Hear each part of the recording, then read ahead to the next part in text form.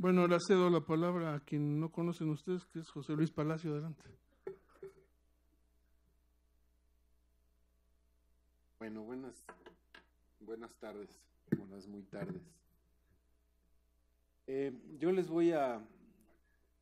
I was going to say that I am going to talk about a different geopark, but since all geoparks are different, I will talk about another different geopark. Eh, el enfoque, la presentación está en inglés, voy a hablar en español. Es un proyecto en el que estamos trabajando desde hace más o menos un par de años. Ahí hay muchos nombres, faltan muchos.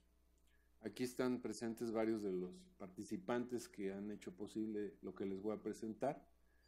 Es un proyecto sobre una propuesta de geoparque, no tenemos todavía el nombre final, pero se encuentra en la Mixteca Alta, en, en Oaxaca. La siguiente.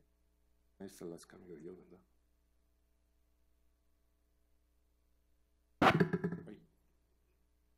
Eh, yo empezaría diciendo esto, el, todo paisaje, detrás de todo paisaje hay una, siempre hay una historia. Y si la historia se cuenta adecuadamente, eh, pues normalmente resulta interesante. Vamos a tratar de, que sea correctamente contada. Decía aquí ayer, hay que usar la imaginación, tal vez hay que usar la imagination. ¿Cuál es el tema de nuestro parque? Lo voy a tratar de explicar. Esta es una, una fotografía de algo que es ilustrativo en nuestra, nuestro, en nuestra propuesta, en la Mixteca Alta. Es un paisaje muy degradado, en donde es, posible encontrar eh, múltiples referencias a la zona como un desastre ecológico. Eh, y su carácter de desastre ecológico es lo que también lo hace valioso, según nuestro punto de vista. Lo que estamos observando el día de hoy es el resultado de una interacción entre la naturaleza y la sociedad de cerca de 4.000 años. Eh, y la geología ha ocupado un aspecto relevante en, este, en esta evolución. Eh, de tal manera que lo que vemos hoy como una, un paisaje sumamente degradado, no hay que pensar que es el resultado simplemente de una sobreexplotación de los recursos a partir de la conquista española, sino que este proceso viene de mucho antes, viene de miles de años antes.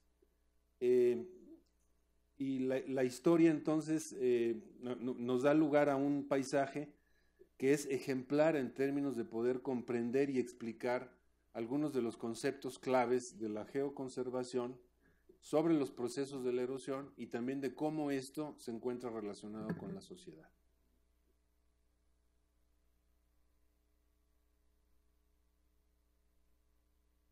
Los primeros habitantes de la Mixteca Alta eh, que empezaron a llegar alrededor de 4.000 años y se sabe que se asentaron alrededor de hace 3.600 años.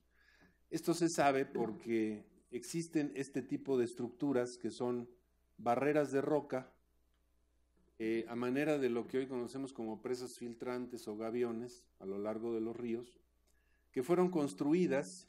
Este es un ejemplo de una de estas, de estas eh, presas que, como ven ustedes tienen una longitud que puede tener algunos cientos de metros para represar sedimentos que llevaba el río en el fondo de los valles. El, asunto es que la, población en este, en este lugar se reportan muchos sitios arqueológicos, es decir, fue una región muy habitada, se calculan hasta 50 mil habitantes en el momento del contacto con los españoles que son más habitantes de los que tiene hoy en día la zona. Eh, evidentemente había una demanda por alimentos muy importante y esta demanda por alimentos no, podría, no podía cubrirse por métodos agrícolas tradicionales.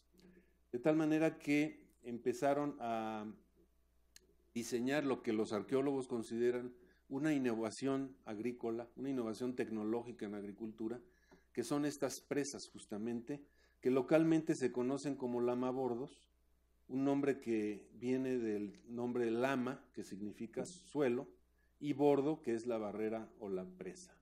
en mixteco se conoce con el nombre de Koyu, que es un nombre muy, muy descriptivo eh, para, para, describir a estas barreras que quieren decir eh, serpiente de piedra. Eh, los lamabordos más antiguos tienen, están datados en 3.600 años. Se imaginarán ustedes que la cantidad de sedimentos que hay represados en cada uno de estos lamabordos es un verdadero archivo de información esperando ser interpretado.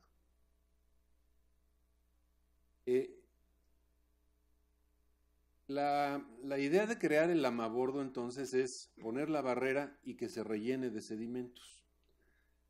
Esto creaba nuevas áreas al cultivo y obviamente mientras más rápido se rellenara ese bordo, pues más rápido se podía disponer de un área al cultivo.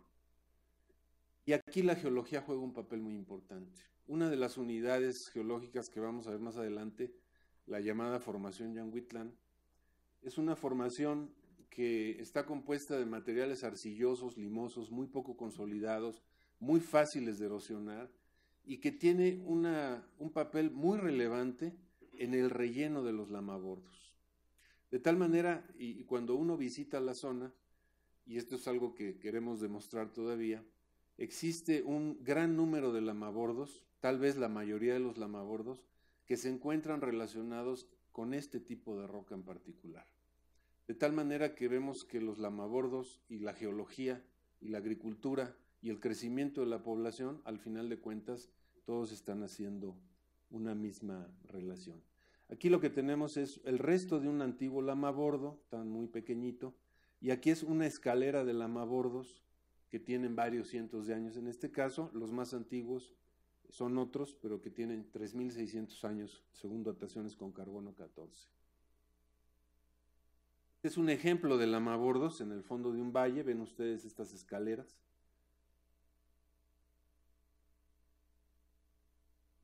Serían más o menos estas zonas. No existe todavía un inventario de estos lamabordos. Eso es parte de un proyecto de tesis que está desarrollando uno de nuestros estudiantes. Tenemos como 11 estudiantes trabajando en la zona en diferentes proyectos.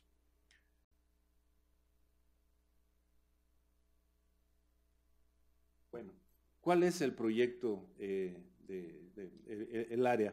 Bueno, el área se encuentra en una zona de contacto eh, muy cerca de lo que conocemos en México como el nudo mixteco, que son, es la unión de dos eh, grandes provincias fisiográficas, la Sierra Madre Oriental con la Sierra Madre del Sur.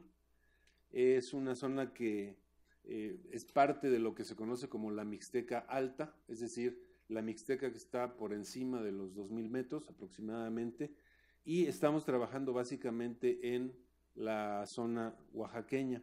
El nombre de la Mixteca pues viene de la civilización mixteca, que es una de las civilizaciones mesoamericanas más importantes, eh, que tuvo su máximo auge precisamente en el, entre el siglo, eh, perdón, que, que, floreció entre el siglo XV eh, y el siglo II, después de Cristo, antes y después de Cristo, y termina con la llegada de los españoles en el siglo XVI.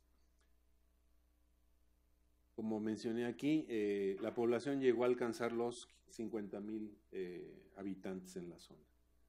La población actualmente es inferior a la cantidad de habitantes que había al principio, al principio de la colonia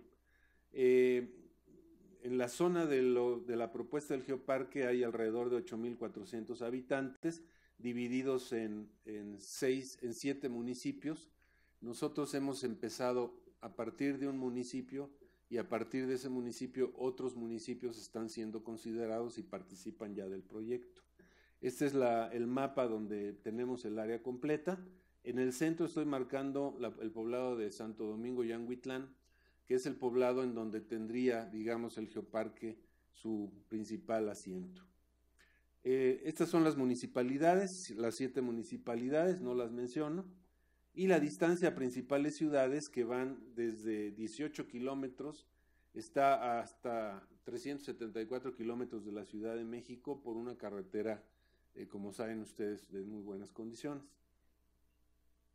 Tenemos los mapas de geología y geomorfología, estos mapas eh, han sido eh, elaborados con base en estudios hechos en el Instituto de Geología por el doctor Ferrusquía principalmente y otros geólogos eh, oaxaqueños, eh, en donde, en resumen, podríamos pensar en una columna estratigráfica que incluye eh, calizas del Cretácico y que corresponden a la formación San Isidro, todavía tenemos duda de ello, y la formación Yanguitlán, estos, datos, estos cuadros en rojo representan los tipos de roca que son más importantes para explicar la dinámica, el paisaje y los geositios de la zona. Esta es una primera imagen de las calizas eh, con un intrusivo, magmático ahí. Esta es la formación Yanguitlán, son capas, eh, una secuencia rítmica de, arenas de color rojo eh, amarillento con un espesor de hasta 600 metros según las descripciones eh, correspondientes al Paleoceno y Eoceno. Aquí vemos a la misma formación Yanguitlán, es estas capas rojas, con un intrusivo a estas, eh, alguien le llama la muralla china, también se le llama el Ku, que es como una serpiente, que también podría ser como una serpiente de piedra, ¿no? En el idioma local y es muestra de magmatismo temprano en la zona. Esta es una fotografía que es un corte en una carretera que ilustra una toba volcánica. Quiero simplemente hacer una referencia a los colores. Este es un solo corte. Hay infinidad de colores aquí, una variedad de colores que son muy llamativos, que estéticamente son muy llamativos. La gente se detiene a ver qué es eso. Y después tiene otra historia esto, que les contaré. Encima también tenemos eh, andesitas, que es una andesita también que se comporta, eh, vemos estas esferas, eh, este, esta exfoliación de la, de la andesita es muy particular en esta región, que también son zonas que pueden considerarse como geositios. nuestro principal hallazgo en, en el parque es ella. Ella es Xochitl. Xochitl está aquí, nos está acompañando eh, si alguien se puede sacar la lotería, es nosotros, al encontrar a Xochitl. Xochitl es geógrafa, vive en la zona y conoce todo y resuelve todo. Es un referente cuando llegan los arqueólogos, los geólogos, los geógrafos, los historiadores, los arqueólogos. Eh, ella es la que los guía. Está aquí con nosotros. ¿Por qué no te paras, Xochitl, para que te vean? Eh, sí, te puedes parar, no pasa nada, vas a perder la imagen y ya. Pero es un, un, elemento que es absolutamente fundamental en este proyecto, es la persona que nos ha introducido con la comunidad. Bien. Esta es la, digamos, la parte alta de la columna estratigráfica en donde tenemos una secuencia de sedimentos, de paleosuelos, que algunos de ellos han está, ya están datados en alrededor de 14.000 años, de tal manera que aquí lo que tenemos es un verdadero archivo de información para los últimos 14.000 años. Y está esperando ser estudiado. Hay, algunos estudios ya hechos principalmente por extranjeros, con participación de mexicanos, pero es una información que nos, nos podría, eh, vaya, es, es, una información relevante y son sitios relevantes para ser mostrados. Y aquí quiero hacer referencia a la sabiduría local él es un habitante de ahí, uno, un guía, que, muy amigo nuestro, Julio, y cuando hacíamos la explicación de estos suelos, él decía que las capas de un suelo son como las hojas de un libro. En el momento en que dijo eso, todos los de la UNAM que íbamos, los doctores, maestros, licenciados y demás, sacamos el libro y apuntamos, ¿no? Esa fue una de sus frases, que es sabiduría local, ¿no? Finalmente. Este es otro sitio que está al sur, eh, que es una zona muy ejemplar referente a, deslizamientos, un pueblo que prácticamente desapareció, con casas muy nuevas, muchas de ellas construidas con recursos de los migrantes. Hay mucha migración y cuando regresan construyen su casa y prácticamente todo el cerro se deslizó. Bueno, pues es un, final de cuentas, es un ejemplo, es algo ejemplar para hablar también de, de cuestiones de riesgos y desastres. Tenemos ubicados 35 geositios, esta es una lista eh, representativa de los 35, que están ubicados a lo largo, en este caso, principalmente de la parte central en el geoparque, estamos expandiendo de la, de la zona propuesta para geoparque. Y a partir de estos 35 eh, geositios, tal vez sean ya más, tenemos geositios también, tenemos pedositios, eh, los que se refieren básicamente a, información edafológica. Esto sigue sin funcionar. No sé si le pueden pasar la siguiente. Muy bien. A partir de la identificación de los geositios tenemos también definidos algunos senderos. Aquí tenemos uno de los senderos sobre la formación Yanguitlán. Creo que el color rojo se aprecia mejor en las pantallas. Eh, y vemos cómo este color rojo de estos sedimentos los encontramos en estas terrazas que han sido rellenadas por la erosión de las partes altas, eh, mostrando esta relación entre agricultura, sociedad y la geología. Y aquí tenemos el pueblo de Yanguitlán con uno de los emblemas que tiene, que es el convento eh, dominico del siglo XVI, que vamos a ver en un momento. A partir de eso entonces hicimos una serie de propuestas de senderos. Hasta el momento tenemos cuatro senderos que suman en total 46 kilómetros y que se pueden recorrer desde caminando, con bicicletas o con vehículos y, caminatas. En este momento estas son las, las cuatro propuestas. Eh, esta fotografía, en lo personal me gusta mucho esta fotografía y quiero referir con esto al, patrimonio natural no geológico, aunque aquí lo, la verdad es que lo que destaca es eso, y, y tiene su parte estética también. Eh, la, vegetación en la zona está restringida, la vegetación más o menos natural, ya bastante alterada, o empezando un proceso de recuperación, se restringe a parches de, pinos, eh, de, bosques de encino y bosques de encino pino, que normalmente están en las zonas menos accesibles o en las zonas más empinadas. La siguiente, por favor. Bueno, esta es la flora. En realidad no todo lo que se ve ahí es flora, pero esto de aquí es un gusano y la verdad es que parece flora, ¿no? Por eso lo puse ahí. Es, un, es una maravilla. Estas son fotografías que nos dio unos colegas con los que estamos trabajando en el parque, que es una ONG local, eh, básicamente que están trabajando patrimonio natural biótico. Eh, hay una gran variedad de plantas, una gran variedad de anfibios. Oaxaca y México en general es una zona con una alta biodiversidad en términos de anfibios y reptiles y cactáceas también. Eh, también de pájaros, eh, el avistamiento de pájaros también es una actividad atractiva dentro del parque, una variedad de orquídeas que se las puede encontrar eh, en, muchos, en muchos lugares. y si hablamos de, de, de, patrimonio cultural, pues la zona, al haber, estado ocupada desde hace 3.600 años o 4.000 años, se imaginarán que existen muchos vestigios arqueológicos. Eh, encontramos muchos eh, vestigios de cerámica, algunos monumentos que están todavía por ser recuperados, otros, eh, otros aspectos de las, las cucharas de cerámica.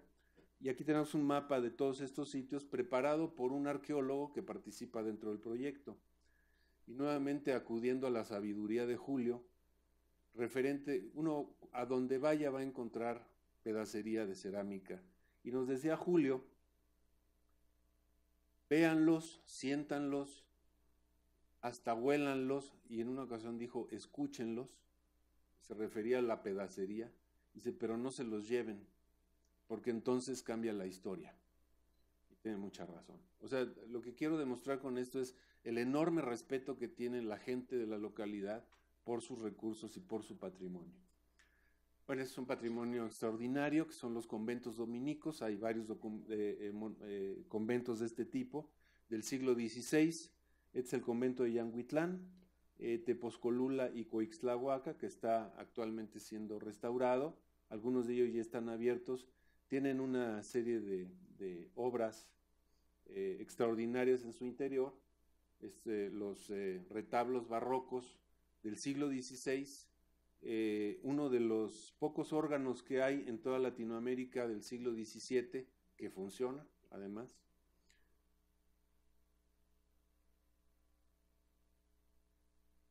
Y esto es otra cosa que descubrimos también que es maravillosa. ¿Se acuerdan ustedes de toda esta coloración en la naturaleza, en los suelos, en las rocas.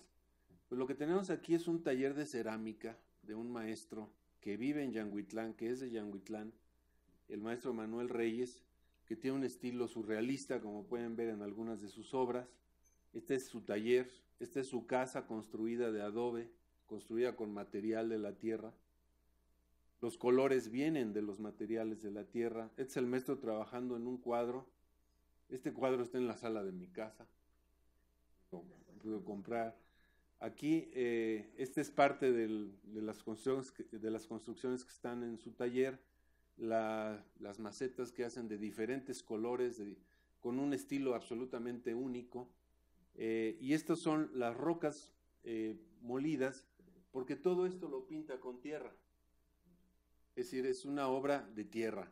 Y esa es mejor prueba de la relación entre la geología y el arte y lo social y lo humanístico y lo bello, finalmente, no puede haber. ¿no? Esta eh, se las pongo por curiosidad. Esto también lo hizo él. Está empleando también eh, eh, barro. Él está esculpiendo. Estos son autorretratos o basados en autorretratos de, Van Gogh. ¿no? Eh, ellos, ellos se refieren, así es que Vincent nos gusta mucho. Vincent es conocido de ellos, no hay problema. Y recuerdan ustedes seguramente esta obra de Van Gogh, que es muy emblemática, La Noche Estrellada. Pasemos a la comida. La comida mexicana fue declarada, como ya se mencionó, Patrimonio de la Humanidad eh, intangible, cultural intangible en el 2010. Y créanme que si alguien contribuyó a ese nombramiento fue Oaxaca. Eh, esto de aquí, bueno, son, si les pregunto yo a los mexicanos que me digan qué hay típico de comer allá, bueno, pues me van a decir los chapulines. Quiero decirle a Luis Alcalá que no, Luis Alcalá viene con nosotros, mañana vamos a ir a la zona. Vamos a ver si lo, si lo, si lo convencemos de que pruebe esto. Patrick McKeown ya dijo, I want eat this. Eh, tenemos los chapulines, el mole negro, que eso hay que explicarlo y hay que vivirlo, y hay que estar consciente antes de probarlo, hay que tener un proceso de iniciación en esto. Después, no solamente, es decir, no, no solo son tacos y guacamole en México, ¿no? El mezcal, que también es un... Y tenemos aquí la forma de diferenciar el tequila del mezcal, eh, que puede ser el gusano o esta sal de gusano. Luego explicaremos todo, Luis, no, es, no te alarmes todavía. Vas a regresar en una sola pieza. Desde el punto de vista de las actividades económicas, eh, el lugar tiene muchos hoteles, hoteles eh, pequeños, hoteles de bajo costo, hoteles que son muy sencillos y que tal vez en esa sencillez radica su atractivo. Eh, este es un lugar en donde solemos parar cuando vamos a, trabajar ahí. Ya hay tres hoteles en este pueblo de Yanguitlán, tres hoteles que deben de representar alrededor de unos 40 cuartos, 50 cuartos tal vez, que hoy durante todo este mes está lleno porque son las fiestas principales de la zona. Eh, tenemos también museos y algo que es muy interesante es una escuela técnica local que tiene también una escuela de manejo de hotelería y gastronomía muchos de los egresados que salen de ahí eh, trabajan en la localidad. Estos son nuestros los socios o parte de los socios, el gobierno estatal, eh, la Comisión Nacional para el Desarrollo de los Pueblos Indígenas, que es muy importante, el Comisariado de Bienes Comunales, eh, la mayor parte de la, de la tierra es comunal, es decir, son comuneros, son dueños todos y se rigen también por una asamblea general en su organización. Tenemos eh, museos regionales, eh, el Museo Comunitario, una ONG, la ONG que nos proporciona el material para, para la parte biológica, ecológica, que, que son de ahí y que están ahí en la localidad. Y desde el punto de vista académico externo, digamos, la UNAM a través del posgrado de arquitectura, gracias a Alejandro, el Instituto de Geografía y el CIESAS, que es un centro de investigaciones en sociología y antropología social. En cuanto a turismo, eh, existen varios proyectos en la zona que coinciden con la propuesta para, de Geoparque. Eh, existe la ruta mixteca, que es parte del Ministerio de Turismo, ruta mixteca, y la ruta de los conventos dominicos. También hay una red de ecoturismo, es CDI, la Comisión para el Desarrollo de los Pueblos Indígenas. Eh, eh, estoy pidiendo la aprobación de Xochitl, que todo lo sabe. Eh, tenemos los, los festivales locales que, como les decía, en el mes de mayo es la fiesta de la localidad. Y la gran fiesta de la localidad es mañana. Y nosotros llegamos mañana y esto no estaba preparado. En todo caso, la culpa la tuvo Patrick por escoger estas fechas. Y eh, todavía estamos hablando de cómo le vamos a nombrar al proyecto. Aquí, esta es una, una guía de naturaleza capacitada localmente. Eh, se llama Elizabeth. No es exactamente un nombre mixteco, pero le decimos Eli, y eso ya suena más mixteco. Eh, los, los, pasos a futuro, bueno, el financiamiento, se, se, ha obtenido un financiamiento de nivel estatal con el cual han empezado muchas actividades, independientemente de como alguien dijo por ahí, alguien siempre está pagando algo para el geoparque. Nosotros también hemos puesto parte de los proyectos, eh, de todos los trabajos que se han hecho han sido financiados básicamente por la UNAM, por la universidad. Algo que ha sido muy positivo es el involucramiento local, cuya importancia ya se ha mencionado y que evidentemente es absolutamente crucial e indispensable. Eh, ha habido un involucramiento porque sí se ha visto un beneficio al respecto. Estas son algunas, algunas imágenes de las, de, las, eh, de las reuniones que hemos tenido. Del geoparque, lo que tenemos bastante involucrado hasta el momento de toda la propuesta, de, considerando los siete municipios, lo que tenemos eh, bien integrado es esta parte que está al centro. La siguiente. Este es parte de lo que, lo que es el, centro de visitantes, de atención a visitantes. Es una instalación que lleva muchos años abandonada y que el municipio pudo recuperar y que está poniendo a disposición del geoparque. Son unas instalaciones impresionantes eh, que se están eh, en este proceso adecuando.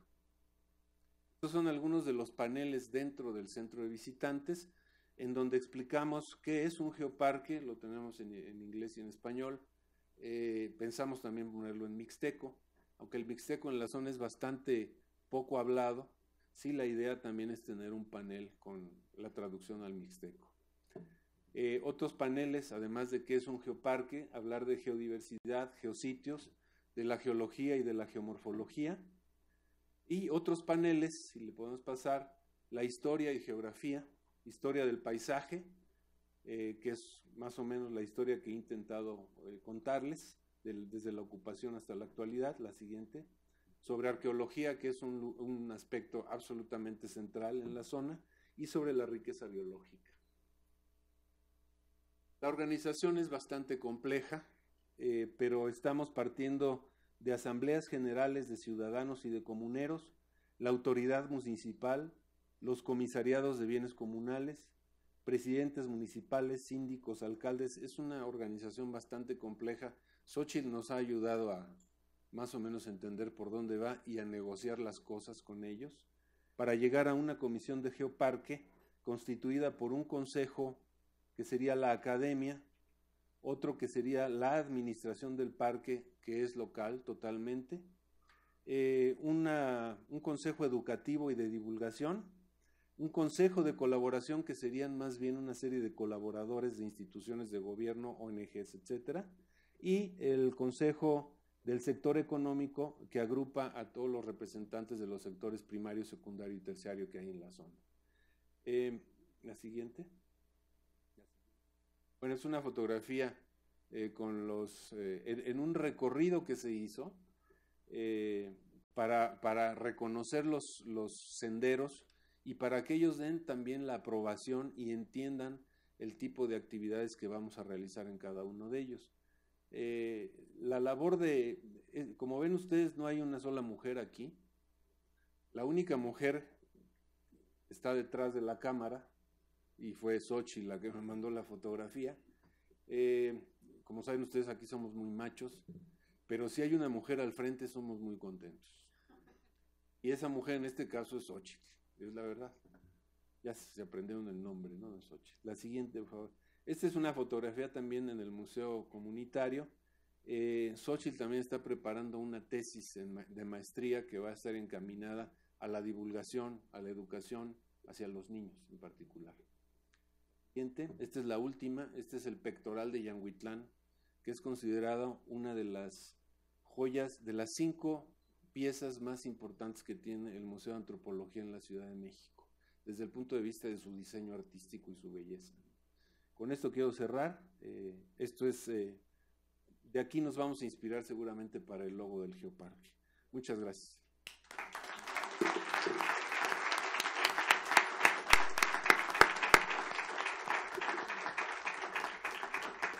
Bueno, tenemos eh, preguntas, comentarios. Allá. Tenía que ser Xochitl. Buenas tardes. Este, bueno, el objetivo de participar es porque em, el día de ayer me quedó una idea muy clara, ¿no? De todos los participantes y en las dos líneas, ¿no? De este, ver desde afuera las cuestiones del geoparque y verlas desde adentro, ¿no? Y alguien por ahí decía que alguien, o bueno, que todos estamos haciendo un esfuerzo y, y tratamos de hacer un gran esfuerzo desde todas las partes, ¿no? Entonces creo que este esfuerzo también desde las comunidades y, particularmente desde la Mixteca también marca un inicio de nuevas cosas, ¿no? Y de que podemos construir, porque uno de los fenómenos creo en América Latina es esa comunicación con la comunidad y desde la comunidad, ¿no? Entonces, pues creo que este es el parteaguas para poder engarzar las dos ideas, ¿no? Desde la academia, pero también desde la comunidad, ¿no? Y poder conjuntar los intereses para llevarlos a cabo, ¿no? Y creo que también podría ser como una de las necesidades de estas reuniones, ¿no? Poder llevar a, acorde todos los, em, los intereses, pero también todos los valores y toda la, em, la parte que tenemos atrás, ¿no? Todas las iniciativas, todas las buenas ideas que nos han dejado en esta reunión en particular. Eh, es momento de conjuntarlas para poder detonar algo, algo muy valioso, ¿no? En nuestras comunidades. Acaban de escuchar la directora del Geoparque.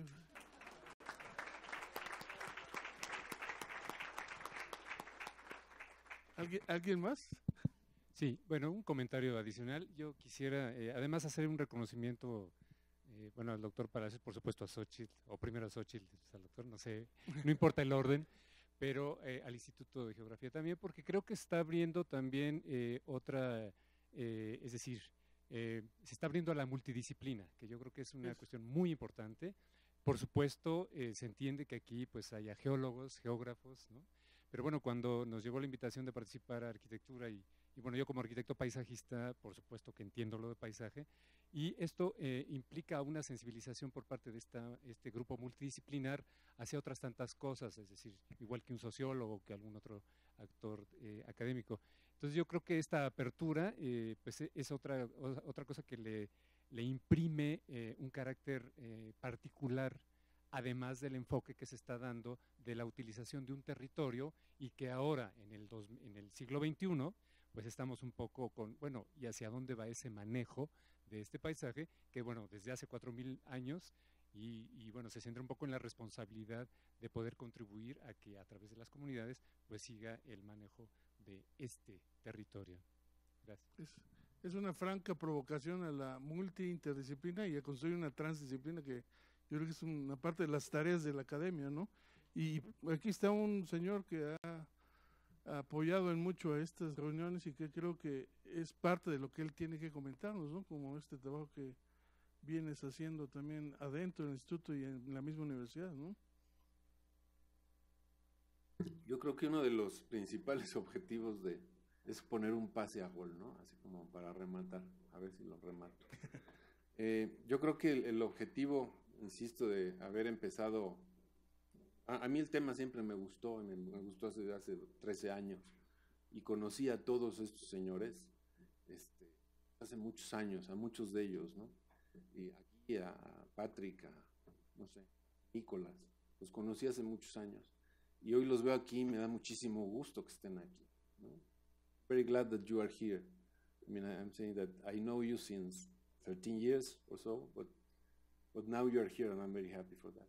Y yo creo que esta reunión no tenemos que dejar pasar la oportunidad de poder organizar algo muy concreto.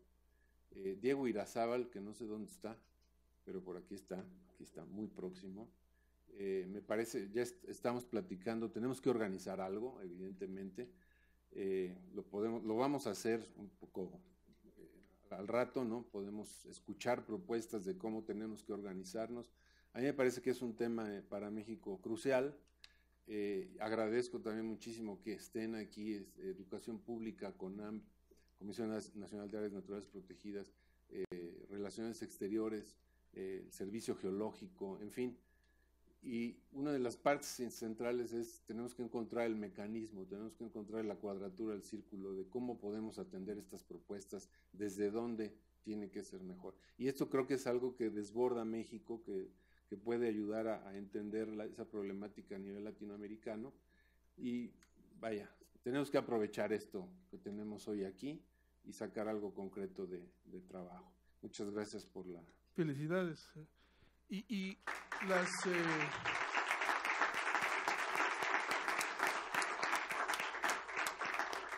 Bueno, concluimos ahorita la sesión. Vamos a...